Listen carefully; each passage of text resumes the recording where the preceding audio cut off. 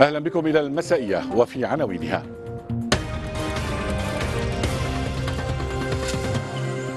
المالكي يؤكد انتظار قرار القضاء لتحديد موقفه من قضية رئاسة الحكومة والعبادي يبدأ بمشاورة تشكيل الحكومة الجديدة. السيد خامنئي يأمل انفراجا سياسيا في العراق بعد تكليف رئيس جديد الوزراء. وواشنطن تحث العبادي على تشكيل الحكومة والمالكي على احترام العمليات السياسية. على وقع مفاوضات القاهرة لوقف العدوان الإسرائيلي ليبرمان يعتبر أن مبادرة التسوية السعودية أصبحت واردة أكثر من ذي قبل. على وقع الجدل السياسي الداخلي في العراق حول تشكيل الحكومة الجديدة وعلى وقع المعارك مع تنظيم داعش شمال البلاد رئيس الحكومة نور المالكي أعلن أنه ينتظر قرار القضاء وأن حكومته مستمرة في مهامها. في وقت بدأ رئيس الحكومة المكلف حيدر العبادي مشاورته لتشكيل الحكومة. أما خارجيا فالمواقف على رصدها للمشهد العراقي. مرشد الثورة في إيران السيد علي خامنئي يأمل انفراجا سياسيا بعد اختيار رئيس جديد للحكومة. فيما دعا البيت الأبيض المالكي إلى احترام العملية السياسية والعبادي إلى تشكيل الحكومة. تطورات المشهد العراقي ستكون في المحور الأول من المسائية فيما نتوقف في المحور الثاني عند تطورات المفاوضات الجارية في القاهرة لوقف العدوان على غزة وتلميح وزير خارجية إسرائيل أبيكدر ليبرمان إلى إمكانية القبول بمبادرة التسوية السعودية. نقلت وكالة الصحافة الفرنسية عن مسؤول إسرائيلي لم تكشف عن اسمه نقلت أن إسرائيل وافقت على تمديد الهدنة في غزة إلى 72 ساعة وكان وفدها المفاوض غادر القاهر غادر القاهرة عائدا إلى تل أبيب قبل ساعات. معلومات خاصة لمراسل الميادين أفادت بأن المفاوضات غير المباشرة في القاهرة تراوح مكانها وأن مصر دعت الجانبين الفلسطيني والإسرائيلي إلى تمديد الهدنة ل 72 ساعة إضافية وكانت قضية وقف إطلاق النار محور اتصال بين الرئيس الأمريكي باراك أوباما وبنيامين نتنياهو. وذكرت وسائل إعلام إسرائيلية أن غالبية سكان غلاف غزة الاستيطاني سيمضون الليلة في الغرف الآمنة.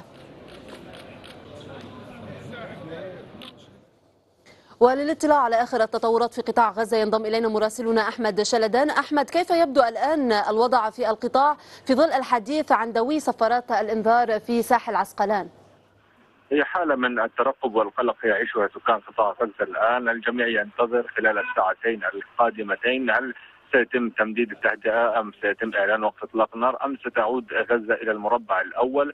قبل قليل سمعنا صوت إطلاق صاروخ من قطاع غزة باتجاه الأراضي الفلسطينية المحتلة ومباشرة بعدها أعلنت المصادر الإسرائيلية عن آه، سماع دوي صفارات الإنذار في منطقة عسقلان أو في ساحل عسقلان في آه، جنوب فلسطين المحتلة. هناك حالة من القلق حالة من التوتر وكذلك حالة من نسمع أصوات طائرات الاستطلاع تحوم بكثافة في سماء قطاع غزة بكثافة غير معهودة مقارنة باليومين الماضيين التي كانت التهدئه فيهما ساريه بشكل طبيعي اليوم هناك صوت واضح لطائرات الاستطلاع في سماء قطاع غزة وهناك الحركة بدأت تخف تدريجيا في شوارع مدينة غزة التي يغط معظم أحيائها في ظلام عميق بسبب انقطاع الكهرباء. نعم أحمد شلدان مراسل الميادين كنت معنا مباشرة عبر الهاتف من غزة شكرا جزيلا لك. أكد الأمين العام لحزب الله السيد حسن نصر الله أن من حق المقاومة في غزة أن تنال نصرا حقيقيا. وأضاف في حديث ينشر غدا في صحيفة الأخبار إن ما أعده حزب الله لإسرائيل لم يتأثر أبدا بكل ما يقوم به في سوريا. وأضاف السيد نصر الله مثل ما دافعنا عن حدودنا في الجنوب مع فلسطين المحتلة ندافع عن بلدنا وحدودنا مع سوريا. وتابع أن لا خطوط حمراء في الحرب الأمنية مع العدو الإسرائيلي مشيرا إلى أن إسرائيل تعرف من يوازي موقع القيادي الشهيد السيد عماد مغنية.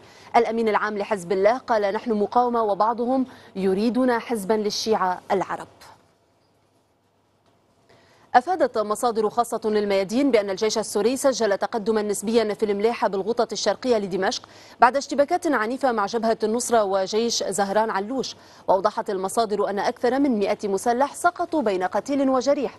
وقد أفادت عدة مصادر بانهيار معنوي أصاب المسلحين جراء تقدم الجيش السوري. وفي حلب قتل نحو 40 مسلحا في اشتباكات عنيفة بين الكتائب الإسلامية وعناصر من تنظيم داعش. المرصد السوري ذكر أن ثمانية عناصر من داعش على الأقل قتلوا في هذه المعارك التي سمحت للتنظيم بالسيطرة على ست قرى في حلب كالمسعودية والعزيزية ودويبق والغوز وبلدتي تركمان بارح وأخترين في الريف الشمالي الشرقي. تبنى البرلمان الليبي قرارا بالأغلبية يدعو إلى تدخل دولي لحماية المدنيين فورا من أعمال العنف ولا سيما في طرابلس وبنغازي. ونقل عن النائب في البرلمان أبو بكر بعيرة أن 111 نائبا ليبيا صوتوا لصالح القرار من أصل 124 حضروا الجلسة. قتل نحو 15 شخصا في اليمن في اشتباكات وقعت بين الحوثيين وموالين لحزب الإصلاح الإسلامي. مصادر قبلية أكدت أن الاشتباكات دارت في محافظة الجوف شمال شرق البلاد وقالت أن الطرفين استخدما أسلحة ثقيلة كانا قد استوليا عليها سابقا من الجيش اليمني. الحوثيون أكدوا أنهم لا يقاتلون الحكومة اليمنية بل حزب الإصلاح الإسلامي المرتبط بجماعة الأخوان المسلمين. وفي محافظة لحج جنوب البلاد ارتفعت حصيلة ضحايا انفجار عبوة الناسفة لدى تفكيكها إلى 18 جريحا حالة معظمهم حرشة أعرب مرشد الثورة الإسلامية في إيران سيد علي خامنئي عن أمله بأن يشهد العراق انفراجا سياسيا بعد اختيار رئيس الوزراء الجديد. وأمل السيد خامنئي أن تؤلف الحكومة العراقية الجديدة لتتمكن من أن تلقن الذين يريدون زرع الفتن في العراق درسا لن ينسوه أبدا. ومن طهران إلى واشنطن التي قالت إنها تريد رؤية حكومة عراقية برئاسة حيدر عبادي بأسرع وقت ممكن. ودعا البيت الأبيض على لسان نائب مستشار الأمن القومي لشؤون الاتصالات الاستراتيجية بين رودس المالكي إلى احترام العملية السياسية وأن يدعها تسير للأمام. رودس أعلن أن الرئيس باراك أوباما استبعد استخدام القوات البرية في القتال في العراق. وأضاف أن واشنطن تبحث عددا من الخيارات من بينها ممرات آمنة ونقل جوي للعراقيين المحاصرين في جبال سنجار. وكان المالكي أكد أنه ماض في الحكومة الحالية وأنها مستمرة ولا بديل عنها ما لم يصدر قرار المحكمة الاتحادية متمنيا على الجميع الالتزام بهذا السياق القانوني الدستوري. أؤكد مرة أخرى بأننا سنمضي في الحكومة وأنها مستمرة ولن تتوقف ولن يكون عنها بديل ما لم يصدر قرار المحكمة الاتحادية. ونتمنى على الجميع أن يلتزم بهذا السياق القانوني الدستوري وأن لا يعرض البلد إلى هزات إضافية. وكانت وكالة الصحافة الفرنسية نقلت مساء أن المرجع الديني في العراق سيد علي السيستاني دعا إلى اختيار رئيس وزراء جديد في العراق يحظى بقبول وطني واسع. موقف السيد السيستاني هذا يعود إلى شهر رمضان المبارك حيث رد على رسالة وجهها إليه حزب الدعوة الذي ينتمي إليه رئيس الحكومة نوري المالكي وينضم إلينا في الاستوديو السياسي العراقي عباس الموسوي. مرحبا بك. أهلا وسهلا مرحبا. ومن بغداد تنضم إلينا القيادية في تيار الإصلاح الوطني الدكتورة منال فنجان. مرحبا بك دكتورة. أبدأ طبعا مع الأستاذ عباس في الاستوديو. أسألك الجدل الذي أثير مساء حول هذه الرسالة التي آه، قيل إن السيد السيستاني أرسلها أو رد على طلب أو استفسار من حزب الدعوة بشأن آه، رئيس الحكومة. ما هو تقييمك لنشرها اليوم؟ بسم الله الرحمن الرحيم. بالتأكيد يعني هو هذا ال ال الذي حصل في العراق بشكل عام. آه، إن كانت رسالة السيد السيستاني أو آه، المواقف الحالية هو انقلاب على الديمقراطية لأننا بلد ذهب إلى الانتخابات. آه، وعلينا أن نلتزم بنتائج الانتخابات ونتائج المحكمة الاتحادية. الآن بدا واضحا آه، أن السيد النوري المالكي لم يستطيع أن يشكل الحكومة لأن هنالك آه، قرار من المرجعية في النجف بعدم التولي وتوافقت مع هذه الآراء موقف الإدارة الأمريكية ومواقف أخرى. هذا اللي اللي يعني جعل أن السيد المالكي لا يستطيع أن يشكل الحكومة. هذا بالمختصر طيب. الواضح. نشر الرسالة. تحديدا. نشر الرسالة بالتأكيد. وهي قديمة. هي قديمة هي رسالة لا لأنه أنا أتصور من نشر الرسالة ليس السيد السيستاني. آه، نشر الرسالة بعض أعضاء قيادة حزب الدعوة. لأنهم وقعوا في حرج كبير أمام كوادرهم وأمام قياداتهم لأن السيد المالكي هو أمين عام حزب الدعوة وحصلت بعض الأمور عدم توافق داخل حزب الدعوة بين القيادة. آه، على هذا الموضوع البعض ما زال مستمر ويعتبر أن آه، كلام السيد السيستاني هو ليس من باب الأمر لأن السيد السيستاني هو من حث الناخب العراقي على المشاركة وإنما من باب التوجيه. البعض الآخر قد تكون من باب توجيه أو التمني؟ التمني التوجيه. لذلك أنا مقتنع أن السيد السيستاني لا يخطأ هذا الخطأ ويصدر أمر لأن إذا صدر بصفة, بصفة الأمر يعني أننا لا حاجة للانتخابات. دخلنا في موضوع ولاية أخرى ولاية الفقيه وليس في موضوع الدولة الديمقراطية. يجب على حتى الذين يحاولون أن يستفيدوا من هذا الموضوع يجب أن لا يضعوا السيد السيستاني طيب. فيما لا يريد أن يضع هو بانتظار أن تعود إلينا دكتورة منال فنجان من بغداد أن يعود الربط معها أود أن أسألك السيد المالكي يقول أنه ينتظر قرار المحكمة الاتحادية. ماذا لو جاء قرار المحكمة مخالفا لما يأمله السيد نور المالكي أنا أتصور السيد المالكي من خلال رسالته أنه ينتظر لأنه أدرك أن الإدارة الأمريكية تريد أن تحطم كل الأسس الديمقراطية في العراق والدستورية. حتى لو جاء لو جاء القرار ضد السيد المالكي أنا أتصور السيد المالكي سيسلم بالرغم من عدم قناعته في القرار قد يكون ولكن هو يعمل ضمن الأطر الدستورية وتكلم كثيرا في خلال الخطابات الماضية على احترامه للدستور نعم. آه، ما ما تكلم به يوم أمس وحث الجيش العراقي على يجب أن نفصل بين العمل السياسي والعمل العسكري لأننا أمام مرحلة ومعركة كبيرة وقد نرى بعض المواقف اللي خلال الأيام المقبلة من السيد المالكي قد يتنازل عن الكثير من حقوقه لأنه يدرك أن المعركة ليست معركة مناصب. لي نعم. اسمح لي أستاذ عباس أن أنتقل إلى بغداد مع الدكتورة منال فنجان. دكتورة منال طبعا مساء الخير.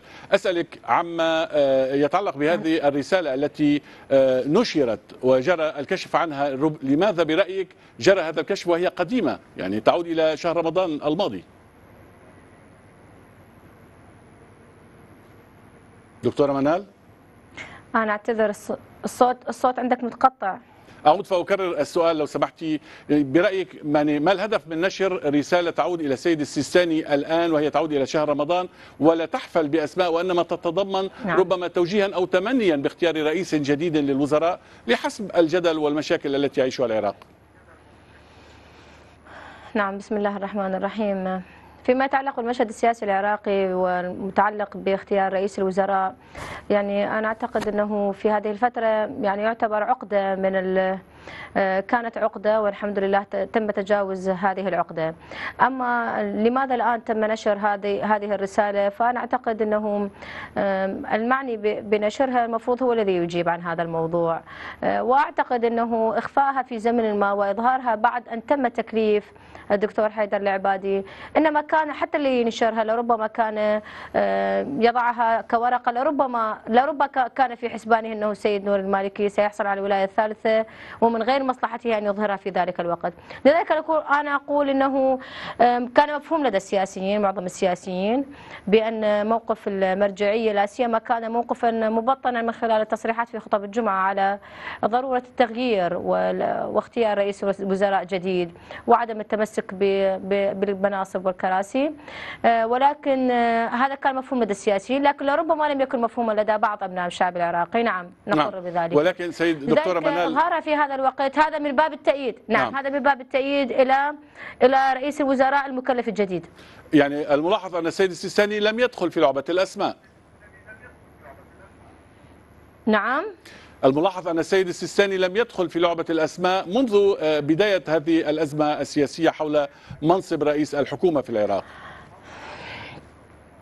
يعني اولا هو لم يكن الكلام ابتداء بل هو كان رد السيد السيستاني بناء على كلام موجه اليه أو طلب موجه إليه. هسه بصيغة فتيا في صيغة استفتاء في صيغة كلام ايا كان نوع هذا الكلام لكنه لم يكن متحدثا ابتداء هذا واحد.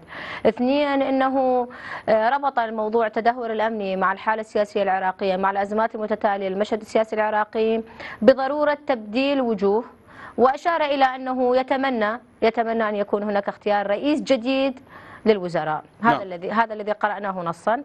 لذلك نقول بأن وهذا هو ديدن المرجعية بأنها لا تدخل في التفاصيل لا تذكر الأسماء. وذلك للدلالة على الاحترام ال- الاحترام والتقدير بعدم الخوض في هذه التفاصيل. وهذا يحسب للمرجعية لا يحسب عليها هذا واحد. اثنين أنه أن يكون هناك بالاسم. هذا يجعل المرجعية صراحة تحسب على جهة دون جهة أخرى.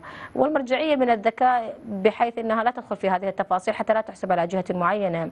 لذلك إنما تتحدث عن الوضع العام وحسنا فعلت عندما فعلت ذلك ولكن نحن نعتقد كسياسيين آه، ويعني نحن كمراقبين مثلا للسياسة وكسياسيين كذلك موجودين على الساحة السياسية بأن رئاسة الوزراء تعتبر هي نعم. المفصل الأساسي في العملية السياسية العراقية وأن وصول الحالة الأمنية إلى ما وصلت إليه مع التدهور على- على مستوى الشارع العراقي مع الخطابات المتشنجة ما بين كل الأطراف السياسية جعلت لزاما على السياسيين العراقيين على أنهم يتخذون خطوة جريئة. نعم. لذلك عندما كان هناك خطاب للسيد نور المالكي رئيس الوزراء المحترم آه، في منتصف الليل، كان الخطاب فيه نوع من التشنج وهذا الخطاب كان هو- صراحة هو على كل حال-. لذلك عندما تكون هناك نعم عندما نعم. تكون هناك خطوة جريئة لكن نحن نعتقدها بال- بال- بالمستوى المطلوب كخطوة صحيحة أولى نعتبرها شيء جيد ومع ذلك نحن نقول بأن أن يكون المرشح هو من داخل دولة القانون نعم. فضلا عن ذلك أنه من الدع من حزب الدعوة الإسلامية حصرا على كل حال- فيه هذا كسر للفتنة سيدتي. وحسن فعلت قادة التحالف عندما كسرت هذه الفتنة سيدتي على كل حال آه، السيد نور المالكي أعلن أنه سيحترم آه، القرار الذي سيصدر عن القضاء وبالتالي يعني لا شك أنه آه، سيسلم مقاليد السلطة لرئيس الحكومة المكلف الذي يعمد منذ الإعلان أو منذ آه، الإعلان عن آه، تكليفه بهذه المهمة عن السعي إلى تشكيل هذه الحكومة. مكتبه الإعلامي قال إنه بدأ مشاورات لتشكيل الحكومة وقد طلب المكتب الإعلامي للعبادي الكتل السياسية بتقديم ممثلين عنها للاتفاق على الحقائب الوزارية. تقرير لعبد الله بدران. مشاورات لتشكيل الكابينة الوزارية الحكومية منذ الساعات الأولى لتكليفه بشكل رسمي. هكذا خاطب رئيس الوزراء العراقي المكلف حيدر العبادي الشارع العراقي. العبادي طالب الأفرقاء بتقديم ممثلين عنهم لغرض التفاوض والاتفاق على الحقائب الوزارية والمشاركة في صياغة برنامج الحكومة المقبلة. حكومة قوية كما يصفها العبادي لمواجهة التحديات الأمنية في قتال داعش. وفي السياسة إعادة ترتيب صفوف التحالف الوطني. قناعتي من خلال السيد العبادي ومن خلال الفريق الحكومي القوي الذي ننشده لتشكيله في الفترة القادمة سيتمكن من معالجة هذه المشاكل وهذه الملفات. من حيث المبدأ لا يواجه العبادي أي إشكالية لناحية الحصول على أكثرية مريحة. الحكومة المنتظرة ستكون جامعة لأغلب الكتل النيابية كما سبق للعبادي أن أشار. لكن توزيع الحصص والوزارات السيادية حتما سيكون موضع جدل بين الكتل. جدل يضاف لجدل لم يتوقف وشرعية تكليف العبادي فائتلاف دولة القانون لا زال مصرا على موقفه من رفض التكليف. الواقع العراقي الآن هو على كف عفريت. إذا تشكلت الحكومة ممكن لكل من يأخذ حصته أن يحرص على الجانب الذي هو مكلف به. وبالتزامن مع الجدل السياسي المستمر فإن أوراق الطعن بتكليف العبادي بتشكيل الحكومة لا تزال بانتظار بت المحكمة الاتحادية. تشكيل الوزارة وتوزيع المناصب وخصوصا السيادية منها بين الكتل الرئيسية من أهم واجبات العباد التنفيذية والتي يتزامن معها جهد سياسي لترتيب أوراق التحالف الوطني وفتح قنوات اتصال مع ائتلاف دولة القانون. عبد الله بدران بغداد. الميادين. أعود إلى ضيفي هنا في الاستوديو الأستاذ عباس الموسوي أسألك أستاذ عباس هل فتحت قنوات التواصل بين رئيس الحكومة المكلف وائتلاف دولة القانون؟ أتصور قبل هذا الموضوع على من حاك هذا الموضوع في التحالف الوطني ويعتبر إجماع وطني وعزل 3 ملايين و400 ألف صوت من دولة القانون هم اللي صوتوا عليهم الإسراع بقوة من أجل أن يكون قرار المحكمة الاتحادية لأن الآن لا يمكن دستوريا وقانونيا أن تشكل حكومة وهنالك حكومة موجودة. أتصور على المستوى الشخصي بين قيادات حزب الدعوة ودولة القانون. هنالك عفوا فقط أود أن أستودع إذا سمحت لي للدكتورة منال باعتبارها أيضا دكتورة وخبيرة في القانون. أود أن أسألك سيدتي فيما يتعلق الآن الأستاذ عباس يقول إنه لا يمكن تشكيل حكومة طالما هناك حكومة ولكن بعد الانتخابات الرئاسية التي أتت بالسيد فؤاد معصوم رئيسا للجمهورية العراقية ألا يمكن أو ألا يفترض القانون أن تقدم الحكومة الحالية استقالتها من أجل تشكيل حكومة جديدة؟ وخصوصاً أود أن استوضح هذه هنالك النقطة شكوى لنا أمام وللمشاهدين الم- المحكمة الاتحادية. لو سمحت تفضلي سيدتي. نعم. نعم لا. من الناحية القانونية لا يمكن للحكومة بالوقت الحالي برئاسة السيد نور المالكي المحترم آه، أن تسلم أن تسلم الحقائب الوزارية وتخلي وتشغل الأماكن إلا بعد أن تؤدي تعطى الحكومة الجديدة بتشكيلتها الجديدة برئاسة الدكتور حيدر العبادي تؤدي اليمين وتعطى الثقة من قبل البرلمان عند ذلك يكون بلقاء رسمي و... و... ويكون فيه محضر رسمي تسلم الوزارات بحضور الوزارات اللي هم يعتبرون قدامى نعم. أو ال- أو السابقين بر- برئاسة نور السيد نور المالكي مع الجدد اللي هو برئاسة الدكتور حيدر العبادي وبمحضر الرسمي وتسلم عند ذلك الحقائب. بمعنى أن الحكومة الحالية برئاسة السيد نور المالكي تبقى مهامها لكن ينبغي أن يكون هناك قرار من المحكمة الاتحادية على أنها تشكل حكومة تصريف أعمال لهذه الفترة. وحكومات تصريف الأعمال تكون مقيدة من حيث الصرف المالي لا أكثر ولا أقل ولكن مهامها الأخرى تبقى كما هي. إلى حين تشكيل الحكومة الجديده وإعطائها الثقة وأداء اليمين عند ذلك تصبح هذه لاحقة وتصبح هذه سابقة. شكرا دكتور. أعود إلى الأستاذ عباس. ن- طبعا كنا نتحدث عن الحكومة المشاورات. هل أنتم مستعدون لفتح قنوات تواصل ربما الآن فيما لو صدر قرار عن المحكمة الاتحادية؟ لحد الآن بشكل عام لا يوجد قرار في هذا الموضوع ولكن آه، أنا من خلال متابعتي الشخصية وما أتمناه أن تبقى آه، دولة القانون آه، كتلة معارضة. لأن ها- الطريقة التي صيغت بها انتهاك لل- للقانون وللدولة العراقية وللدستور العراقي آه، عدد كبير من أعضاء دولة القانون يفكر أن يبقى في جانب المعارضة أعود إلى تقرير اللي ذكره الزميل بدران. بدران أتصور السيد العبادي ستكون مهامة أصعب بكثير من السيد المالكي لأن السيد المالكي وصل بسقف مع الأخوة في كردستان حول موضوع البيشمركة وحضر حول موضوع ال 17% وتحولت إلى قضية وطنية. لا يمكن لابن البصرة هذا ما يردد في الشارع العراقي يبيع البترول ويعطي 17% إلى ابن الشمال. هذا موضوع آخر لا لا يقودنا لا إلى- هذا هذا راح يعقد الموضوع. جدلية. راح نعم. راح يعقد الموضوع وقد واحدة من السيناريوهات المتوقعة.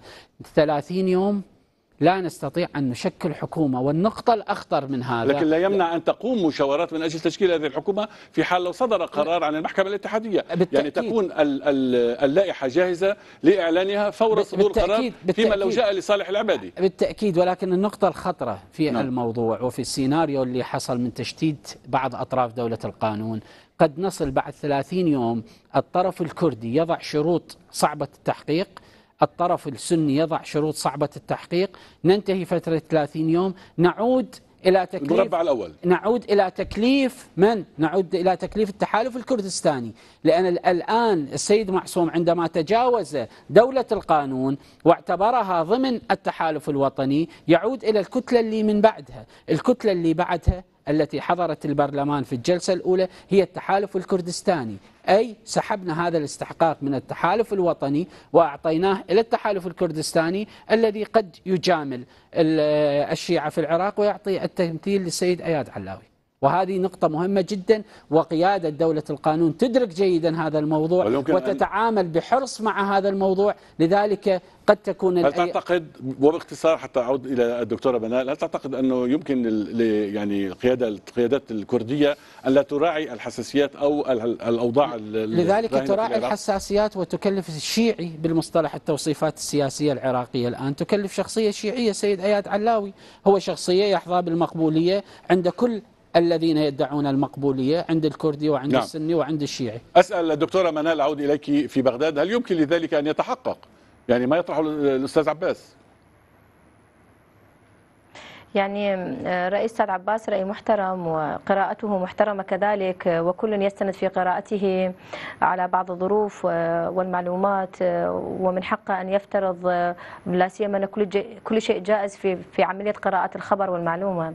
ولكن أنا لا أعتقد أنه هذا السيناريو قابل للتطبيق في العراق في الوقت الحالي. إن شاء الله. لا سيما مع حالة الغليان الشعبي مع حالة التوافقية التي لا زالت مستمرة مع مع اختيار رئيس الجمهورية بناء على حالة توافقية. مع اختيار رئيس البرلمان على حالة توافقية أنه أن يكون هناك مثلا المكون الأكبر داخل المجتمع العراقي على أنه آه، يسحب منا هذا الحق بهذه الطريقة. أنا أعتقد أنه هذا سيناريو شوية بعيد التحقيق بالوقت الحالي آه، ولا ولا أعتقد أنه المسألة يعني مبيتة لا سيما بأن الكل أذعن وأقار بأن التحالف الوطني هو الكتلة الأكبر وبعثوا بهذه الرسائل. مثلا القوى الكردية بعثت بالرسائل نحن نعتبر التحالف الوطني القوى الأكبر ونحن سنصادق ونوافق على مرشح التحالف نعم. الوطني نعم. كما بعثت كذلك بقية القوى الوطنية الأخرى نعم. لذلك لا أعتقد بأنه هذا السيناريو قابل للتطبيق ولكن آه، كما أن مهمة آه، تشكيل الحكومة واختيار الوزراء بالنسبة للكتل السياسية هذا الذي سيكون فيه بعض الكلام ولكن أنا أعتقد من خلال قراءتي للواقع نعم. بأن ستكون مهمة تشكيل الحكومة أسهل مما كانت في زمن السيد طيب. نور المالكي لو سمحت لي على اعتبار أن هناك حالة ضغوط نعم دكتورة منال نعم. وماذا لو جاء موقف يعني المحكمة الاتحادية مؤيدا لطروحات السيد نور المالكي يعني آه أقول ماذا يعني لو؟ أعتقد بأن المحكمة الاتحادية ماذا لو عند ذلك آه، سأعتقد بأن آه، سيكون هناك الكثير من الكلام مع السيد نور المالكي آه، ولا أعتقد بأن السيد نور المالكي يعني سيتخلى عن عقلائيته وموضوعيته في التعامل مع المواضيع. وأكيد سيركن إلى أنه يغلب مصلحة الشعب العراقي والدولة العراقية عندما يجد بأن الشارع ملتهب بأن الأوضاع الأمنية ملتهبة بأن هناك امتعاض من القوى والكتل السياسية هناك امتعاض من المرجعية الدينية. لا أعتقد بأن السيد نور المالكي سيتخلى عن هذه العقلائية نعم. هكذا أرى المشهد. على كل حال ما يجري ما يجري في العراق مشاهدينا الكرام يحظى باهتمام إقليمي ودولي كبيرين. على صعيد المواقف الغربية والأمريكية تحديدا حيال الوضع العراقي قرر وزراء خارجية الاتحاد الأوروبي عقد اجتماع طارئ يوم الجمعة القادم لبحث تسليح الكرد في العراق. من جهته وزير الدفاع الأمريكي تشاك هيجل كشف عن اعتزام واشنطن إرسال 130 مستشارا عسكريا إضافيا إلى اربيل لتقويم احتياجات وحاجات الايزيديين تقرير لزهراء الديراني. من باب حماية الأقليات تعود أمريكا إلى العراق بعد مرور أكثر من ثلاث سنوات على الانسحاب منه. يبدو أن ظروف العودة قد نضجت. 130 مستشارا عسكريا إلى أربيل. يضاف هؤلاء إلى 300 مستشار كان قد نشرهم الرئيس الأمريكي باراك أوباما في حزيران يونيو الماضي من أجل دعم الحكومة العراقية في حربها ضد الدولة الإسلامية. وزير الدفاع الأمريكي أكد أن مهمة هذا الفريق هي التقويم العميق لحاجات الأيزيديين الإنسانية. تشاكيغل نفى أن تكون هناك نية قتالية لهذه القوات المؤقتة بحسب وصفه وأضاف إنها تضم أفرادا من مشاة البحرية وقوات العمليات الخاصة. خطوتنا هذه تأتي في إطار الاستراتيجية التي أعلنها الرئيس أوباما على نحو واضح وهي لا ترمي سوى إلى إيجاد السبل لمساعدة وتقديم النصائح إلى القوات الأمنية العراقية. جون كيري أيضا استبعد أي دور قتالي أمريكي جديد في العراق. وزير الخارجية الأمريكي أكد أنها معركة يجب أن يخوضها العراقيون باسم العراق. هذا التدخل أثار عاصفة نارية في الكونغرس. أعضاء الحزب الجمهوري شجبوا الضربات الجوية باعتبارها ردا غير ملائم على التهديد الإرهابي المتزايد. فيما وجه أعضاء الحزب الديمقراطي نداءات ملحة إلى أوباما تحذره من أن سقف دعمهم للضربات محدود جدا. التحذيرات المزدوجة تؤكد الطريق الصعب الذي يسلكه أوباما لاحتواء خطر تنظيم داعش. يسعى سيد البيت الأبيض إلى حماية مصالح بلاده في العراق ولكن دون الغرق في وحول حرب جديدة.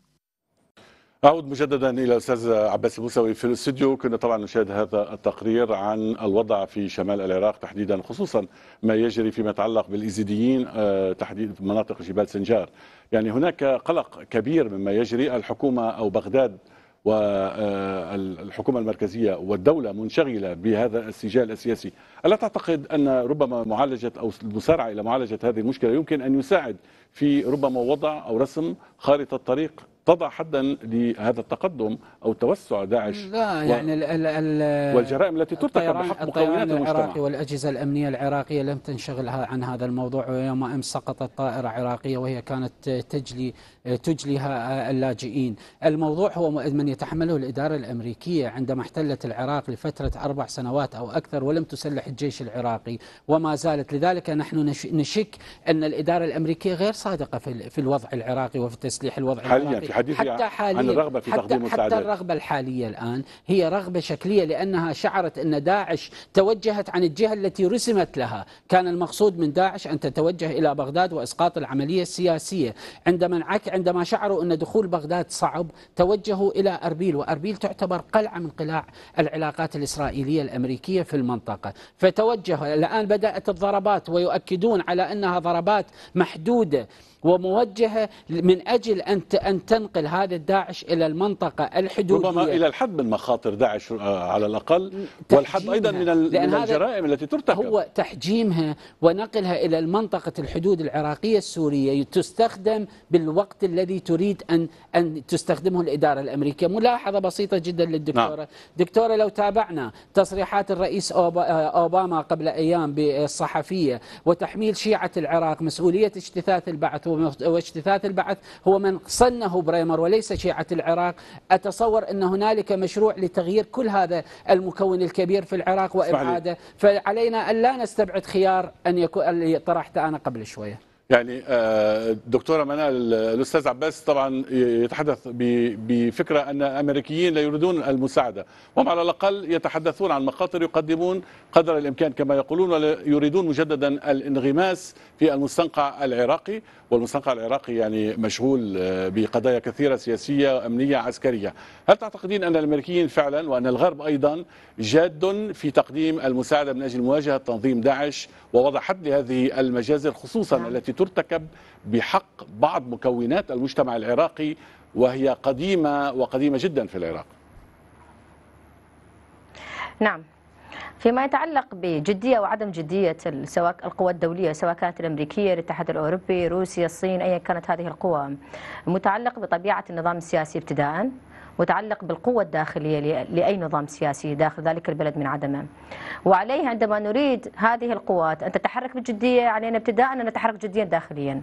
هذا واحد. بحيث أننا نستطيع أنه أن نفرض شروطنا على القوى المتحالفة ويانا. بمعنى أن عندما يكون هناك صيغة تعامل في القانون الدولي عندما يكون هناك صيغة تعامل في موازين القوى على الأقل ينبغي أن يكون هناك حالة تناظر ما بين القوتين. وهذه حالة التناظر لا يمكن لها أن تكون مع العراق ما لم يكن العراق يكون صاحب مشروع وطني. داخل نعم. المجتمع العراقي هذا واحد. واثنين هو يحكم تصرفاته. يعني لا يمكن لنا أن نتخيل مثلا العراق مع حالة انعدام الثقة مع وجود حالة ترهل أمني مع حالة ضعف في الأداء الأمني والاستخباري والعسكري. وأن نريد من الآخر أن يكون جدي. كيف للآخر يكون جدي وأنت أصلا في عمليتك السياسية في بلدك؟ مع نعم. شعبك مو جدي. هذه عملية هذه في القانون الدولي يا أخوان. القانون الدولي مبني على أساس يعني نخلص على مبدئين أساسيين. هما القوة والمصلحة. نعم. القوة والمصلحة. فيما يتعلق بالجانب الأمريكي. نحن من الناحية القانونية مرتبطين باتفاقية أمنية. فضلا عن الاتفاقية الأمنية أكو اتفاقية الإطار الاستراتيجي اللي من ضمنها التعاون الأمني.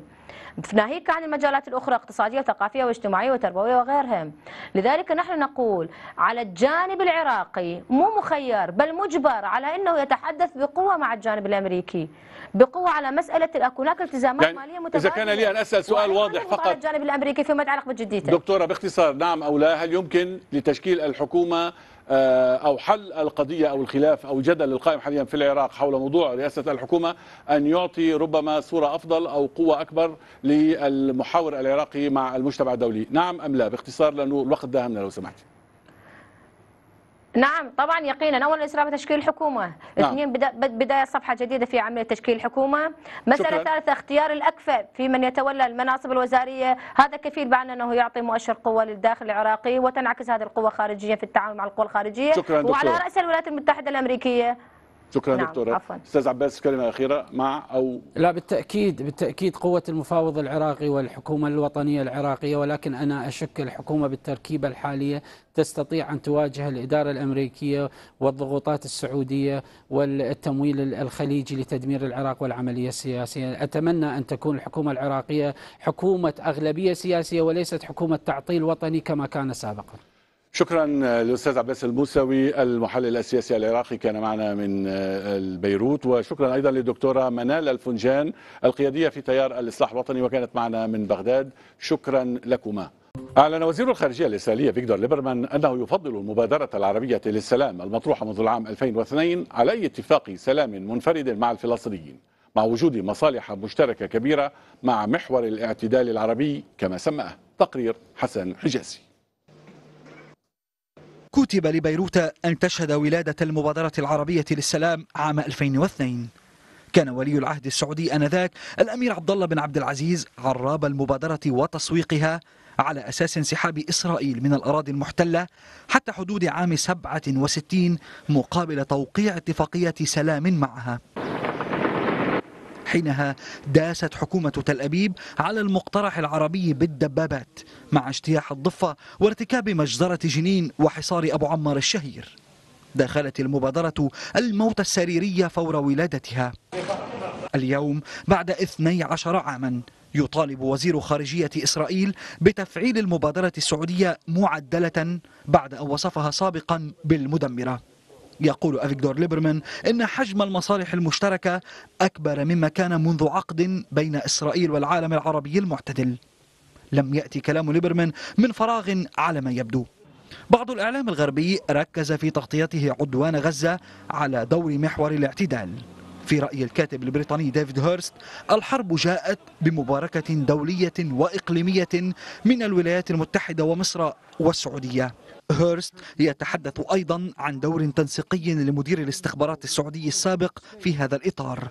للأمير تركي الفيصل لقاءات علنية مع إسرائيليين وكانت المبادرة العربية أحد أبرز محاور محطاته. وأعاد الفيصل التذكير بالمبادرة نفسها قبل أيام. هذا الكلام قد يكون مرتبطا أيضا بغموض أسباب العدوان. شنت إسرائيل الحرب على غزة بعد عملية غير واضحة في الضفة لاختطاف ثلاثة مستوطنين وقتلهم. من جانب آخر لم تتضح الأهداف العسكرية للحرب سوى في تدمير البنية التحتية للقطاع وتشريد سكانه. يقود ذلك إلى أسباب أبعد قد تكون دفعت إسرائيل للعودة إلى المبادرة العربية. تل أبيب تعيش عزلة دولية وتواجه اتهاما غربيا ولو خلف الكواليس بإفشال المفاوضات جراء مواصلة الاستيطان. وربما جاءت المصالحة الفلسطينية لتدفع إسرائيل إلى قلب الطاولة وسط إقليم مقلوب رأسا على عقب. وقبل أن نستكمل متابعة هذه المسائية حول الموقف المستجد لوزير الخارجية الإسرائيلي نتحول إلى القاهرة التي تتركز عليها الأنظار حيث هناك مفاوضات ماراثونية تخوضها القاهرة من أجل تثبيت وقف إطلاق النار وتحويله إلى تهدئة دائمة. لكن يبدو أن الوضع غير واضح المعالم على حتى الآن على الأقل. فالوفد الإسرائيلي الذي يعود إلى إسرائيل ومنها إلى القاهرة حاملا ردودا وأجوبة وتساؤلات عاد إلى إسرائيل اليوم في حين أن الوفد المصري والقيادة المصرية مجتمعة مع الوفد الفلسطيني الموحد من أجل بلورة موقف ما خصوصا أن إسرائيل بحسب ما أعلن عنها وافقت على تمديد التهدئة. ما هو موقف الجانب الفلسطيني من هذا الموضوع؟ هذا ما سنستوضحه من القيادي في الجهاد الإسلامي خالد البطش عضو الوفد الفلسطيني الموحد الموجود معنا عبر الهاتف من القاهرة. سيد خالد مرحبا بك. ما هي آخر المعلومات المتعلقة بالمفاوضات غير المباشرة مع الإسرائيليين. إلى ما وصلت؟ بسم الله الرحمن الرحيم. حتى هذه حتى هذه اللحظة حتى هذه اللحظة بالضبط لا يوجد جديد. الموقف الإسرائيلي متعنت والأمور على ما هي عليه حتى هذه اللحظة. ولكننا نأمل أن تنجح مصر في نهاية المطاف. من إحراز مطالبنا ومواقفنا باتجاه تحقيق وق... تحقيق حقن الدم الفلسطيني أو وقف استباحه الدماء الفلسطينية والوصول إلى تفاهمات برعاية مصريه تفضي في النهاية إلى فتح المعابر وإعادة الإعمار وتحقيق مطالب الشعب الفلسطيني حتى هذه اللحظة الأمور على ما هي عليه. هناك تعنت إسرائيلي وهناك تصلب فلسطيني خلف المطالب المشروعة لأبناء الشعب الفلسطيني. نعم، هناك معلومات تتنقلها وسائل الإعلام هنا وهناك حول آه، نقاط جرى تجاوزها وأخرى عالقة، حول ماذا آه، يعني تتثبت أو المفاوضات عالقة حتى الآن، حول أي نقاط بالتحديد؟ لا يمكن أن اتحدث هنا عن بند هنا أو بند هناك أو مطلب هنا ومطلب هناك. هذه تفاهمات إما أن تكون رزمة واحدة والا وإلا لا تكون. وبالتالي نحن نعطي الجانب المصري الوقت الكافي من أجل ممارسة الضغط على الجانب الإسرائيلي للموافقة على مطالب الشعب الفلسطيني. عندما يتم تقدم هنا وهناك تصبح هناك تفاهمات ويمكن لنا أن نقول نعم قد وصلنا إليها. لكن حتى هذه اللحظة الأمور تأخذ رزمة واحدة ولا يمكن التحدث عن تقدم في بند ثم تاخر في بند هذا لا هذا لا يعني شيء. المطلوب أن ننتهي من هذا العدوان وأن نقف أمام وأن يقف المجتمع الدولي أمام مسؤولياته وكذلك أن يبدأ في الشعب الفلسطيني نعم. بإعادة إعمار بيوته التي هدمت في غزة وكذلك أن تفتح المعابر أمام الشعب الفلسطيني. هناك حديث مطالب كثيرة نعم. لكن أنت تعرف المفاوضات صعبة وشاقة ويعني متعسرة بلا شك لكن ننجح كما قلت نحن نأمل لمصر أن تنجح في يعني أن تضغط باتجاه تحقيق مطالب الوفد الفلسطيني. أه، سيد خالد سؤالي الأخير لو سمحت هناك حديث عن رغبة ربما أه، يقال إنها رغبة مصرية بترحيل بعض القضايا الخلافية إلى ما بعد وقف إطلاق النار، فما مدى صحة هذه الأنباء؟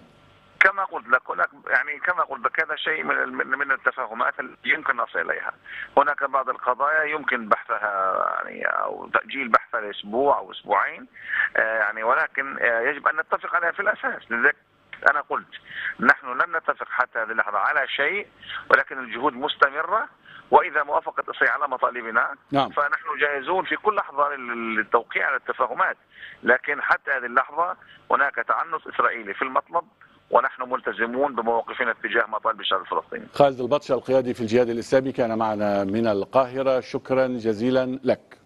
ومن نابلس ينضم إلينا الآن أستاذ العلوم السياسية في جامعة النجاح الدكتور عبد الستار قاسم. دكتور آه، مرحبا بك. طبعا آه، اسمح لي أن أبدأ اولا من حيث انتهى آه، ضيفنا قبل قليل خالد البطش عن صعوبات كبيرة تواجه المفاوضات الفلسطينية نعم. الإسرائيلية غير المباشرة. أود أن أسألك بداية سؤالا لماذا هناك رغبة ربما إسرائيلية تبدو وكأنها لإفراغ المفاوضات من مضمونها وإحراج الجانب الفلسطيني؟ وبداية طبعا أنا استمعت للأخ خالد البطش. جزء لا بأس به من كلامه هو عبارة عن مجاملة للجانب المصري. آه، نحن في المفاوضات إذا دخلت المجاملات فمعناها نحن سنخسر الشيء الكثير. ولهذا كان رأيي منذ البداية أن يذهب مفاوضون إلى القاهرة لا يعرفون المفاوضين المصريين ولا علاقة لهم بهم.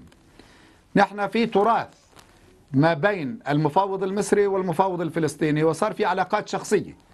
العلاقات الشخصية تؤثر سلبا وتحدث مجاملات كما سمعنا قبل قليل.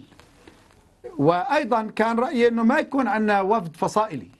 إحنا المفروض يكون الوفد من الخبراء خبراء في القانون في الاقتصاد في السياسي إلى آخره من أجل أن تكون الأمور ذات طابع علمي أكثر منها ذات طابع سياسي. فالطابع العلمي نعم سينعكس في النهاية على السياسة. نعم. وما يؤكد ما أقول أنه آخر, آخر نسخة من المقترحات المصرية وهي على هذه الورقة. هذه آخر ما سلم للفصائل والجانب الإسرائيلي من مقترحات مصرية. هي تتبنى الجانب الإسرائيلي واضح. يعني ما في هناك تبني لمطالب فلسطينية إنما في هناك كلام عام غامض يستعمل كلمات بالتدريج ومع الزمن ومع الوقت وبتاريخ كذا. يعني عبارات هذا فضفضة. كلام مرفوض. حتى الآن واضح أنه ما خطينا خطوات إلى الأمام. أخي الكريم المفاوضات في القاهرة لا تجري في بيئة صحية بالنسبة للمقاومة الفلسطينية. طيب اسمح لي دكتور أنا أسألك فقط. إنه أغلب المشاركين نعم اسمح في لي البحث عن نعم حول هذه نعم. النقطة تحديدا أنت تخشى إذا أن يتم تمرير بعض القضايا ربما لعدد لعدم وجود خبراء قادرون أو لعدم وجود خبراء قادرين على تقديم المشورة القانونية اللازمة والضرورية لوضعها في أي اتفاق قد يبرم وقد يحظى برعاية دولية. وأنا أخشى من المجاملات أيضا. يعني إنه والله بدنا نرضي الجانب المصري. فيها تبوي سلحة وفيها عيش وملح وما شابه ذلك. تعرف التقاليد العربية؟ ربما تؤثر. هذا ما بينفع معنا. في مطالب فلسطينية. إما بتتحقق أو ما بتتحقق. ولكن الوفد الفلسطيني يؤكد لا تراجع. يعني مثلا. نعم دكتور الوفد الفلسطيني يؤكد لا تراجع عن المطالب الفلسطينية. لو كان يريد ربما أن يقبل لكان قبل منذ البداية. نحن نريد خطابا واضحا. نعم نحن نريد خطابا واضحا موجها للفلسطينيين. مش والله بس المفاوضات شاقة وصعبة وتحتاج إلى جهد وتحتاج إلى هذا كلام عام مغامض ما بنفع. لازم يقال للشعب الفلسطيني أنه مطروح كذا وكذا وموقفنا كذا وكذا. أما مفاوضات شاقة ومتعبة ومضنية وكل هذا كلام ممجوج وما بنفع. ما بيوصل لنا رسالة ولا نفهم معنى هذا الكلام. هذا خاضع لتأويلات وتفسيرات كثيرة جدا. ولهذا الجانب الفلسطيني يجب أن يكون لديه آلة إعلامية لإيصال المعلومة إلى جمهور الشعب الفلسطيني في الداخل والخارج. نعم. وأن يوصلها أيضا إلى وسائل الإعلام. مش أنه في أيضا يضل في تكتم لأنه أحيانا ال- ال- الأطراف المتفاوضة بتتفق على سرية ما يطرح. هذا ما بيناسبنا نحن جربنا سرية الدبلوماسية عبر 20 عام. خرب بيت أبونا من وراء السرية. يكون يخاطبنا في الإعلام بشيء والخوازيق من تحت الطاولة نعم. في للشعب الفلسطيني اسمح. هذا غير مقبول نعم. هذا النمط من المفاوضات المفروض أن يتوقف وعلى المفاوض الفلسطيني في القاهرة أن يخرج بأسلوب جديد وليس بالأسلوب الأمريكي أو الأوروبي أو ما شابه ذلك اسمح آه، لنا دكتور آه، عبد الستار قاسم أرجو أن تبقى معنا أود أن نعود إلى نقطة أخرى كنا أثرناها في المسائية وهي الموقف اللافت لوزير الخارجية الإسرائيلي أفيكدور ليبرمان الذي دعا إلى الحوار في مبادرة السلام العربية. هذه المبادرة كما نعلم جميعا كانت ترفضها إسرائيل وهو يضعها في سياق تحالف جديد يضم دول الخليج لكن على أساس حماية أمن إسرائيل. تقرير لقاسم عز الدين. لم ينضب الحديث عن مبادرة السلام العربية منذ أن صاغ أفكارها توماس فريدمان قبل عقد ونصف. لكن إسرائيل رفضت التجاوب مع ما أسمته القمة العربية السلام مقابل السلام فدعت إلى معادلة الأمن مقابل الأمن. إسرائيل كانت تفضل تطبيع العلاقات الثنائية مع كل بلد بمفرده ضمانة للابتزاز في مفاوضات مديدة توفر لها الاعتراف العربي بالاحتلال كأمر واقع. والتهويد المستمر. كما توفر لها تبني العرب ما يسمى نبذ العنف ومشاركتهم في حماية أمن إسرائيل. حين أصبحت إسرائيل حليفا موضوعيا في مواجهة إيران وسوريا وحزب الله كما قال بعض العرب حاول الوفد الوزاري العربي السنة الماضية في واشنطن إحياء مبادرة السلام العربية من دون جدوى. رئيس الوفد حمد بن جاسم تبرع بإجراء تعديلات تستثني الانسحاب الإسرائيلي من الجولان ومزارع شبعة وتستثني أيضا حق العودة لصالح حل متفق عليه لمشكلة اللاجئين. غير أن واشنطن طالبت بمرونة أكثر كأن يبدأ التطبيع أولا. الجديد في الأمر هو ما نتج عن العدوان الإسرائيلي على غزة في ولادة روابط قوية بين إسرائيل ودول الخليج بحسب نتنياهو. ففشل إسرائيل في القضاء على المقاومة سرع ضرورة ترتيب العلاقات بين إسرائيل والعالم العربي على قول ليبرمان. إنما بشرط عدم الإشارة إلى حق العودة كما يشترط. اللافت أن صحيفة الرياض السعودية كتبت في افتتاحيتها قبل أسبوع مطولة تأخذ بالأسباب التي تفيد إسرائيل في مبادرة السلام العربية. ومن بينها حاجة إسرائيل للعرب في إقناع الغرب بإمكانية ديمومتها. وكذلك حاجتها للعرب في الدلالة على أنها ليست دولة عنصرية عضو الكنيسة عن حزب شاس إسحاق كوهن يقول هذا عطاء أغلى من الذهب لا تناله إسرائيل في أي مفاوضات ثنائية وأسألك دكتور عبد الستار ما هي قراءتك لهذه المقاربة المستجدة لوزير الخارجية الإسرائيلي لمبادرة السلام العربية؟ هل ترى فيها فخا من أجل نزع سلاح المقاومة في غزة؟ اولا استاذنا الكريم يعني وزير خارجية إسرائيل هو شخص يتمتع بغباء شديد. لا يوجد لديه لا منطق سياسي ولا منطق أخلاقي ولا شيء. وبالتالي هو يعني برمي الكلام جزافا لا يفكر فيه. أما اجمالا هذا الكلام الذي صدر عنه لولا أنه رأى بأم عينه كيف تتصرف غزة وقوة غزة وكيف أصبحت إسرائيل بلد غير آمن لكل الإسرائيليين لما راجع نفسه بالنسبة للمبادرة العربية. المبادرة العربية التي لا تعطي للشعب الفلسطيني حقوقه. لكنه وجد إنه لا. والله العرب ممكن أن يحافظوا على الأمن الإسرائيلي أكثر مما تستطيع إسرائيل أن تحافظ على نفسها. وهذا واضح في هذه الحرب وكان واضحا أيضا في الحرب مع حزب الله اللي بكرة ذكرى هزيمة إسرائيل في جنوب لبنان. الآن أصبح واضح لدى إسرائيل أنها لا تستطيع أن توفر الأمن لنفسها وكل نظريتها نظريتها الأمنية قد نعم. انهارت. ما عاد في نظرية أمنية الآن إسرائيلية نقول أنها موجودة وإنما انهارت. وأيضا التجربة في هذه الحرب كما كانت التجربة في حرب عام 2006 وجدت إسرائيل أن هناك أنظمة عربية تصطف معها تتحالف معها وتدافع عنها وترغب أن ترى المقاومة وقد تلاشت نهائيا من المنطقة العربية الإسلامية. فالتحالف مع العرب نعم أكثر جدوى جدوى الآن بالنسبة لإسرائيل من مواجهة المقاومة سواء في للأسف. جنوب لبنان أو نعم. في جنوب فلسطين. دكتور عبد الستار قاسم نعم. للأسف آه، الوقت داهمنا شكرا لك أستاذ العلوم السياسية بجامعة النجاح كنت معنا مباشرة من نابلس شكرا جزيلا